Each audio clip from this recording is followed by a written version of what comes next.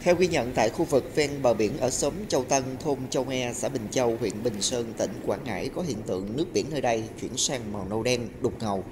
Đáng chú ý là việc nước biển đổi màu chỉ xuất hiện khi sóng đánh cách bờ 100 đến 200 mét, xa hơn thì nước biển vẫn trong xanh.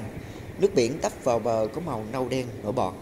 Theo quan sát, khu vực có hiện tượng nước biển đổi màu khá gần các hồ nuôi tôm và chủ hồ nuôi đặt ống xả thải thẳng ra môi trường biển. Hàng loạt ống xả thải hoạt động mỗi ngày. Ông Lê Văn Nguyên, Chủ tịch Ủy ban Nhân dân xã Bình Châu cho biết, trước kia Ủy ban Nhân dân tỉnh Quảng Ngãi cho Hợp tác xã Nông nghiệp 3 Bình Châu thuê 9,8 hecta để đầu tư dự án nuôi tôm trên cát.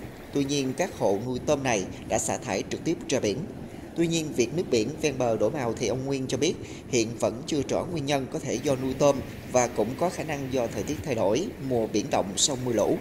Ngoài ra, khả năng có thể do mưa lớn, triều cường xâm thực kéo trôi chất thải ra biển bị sóng đánh tấp vào.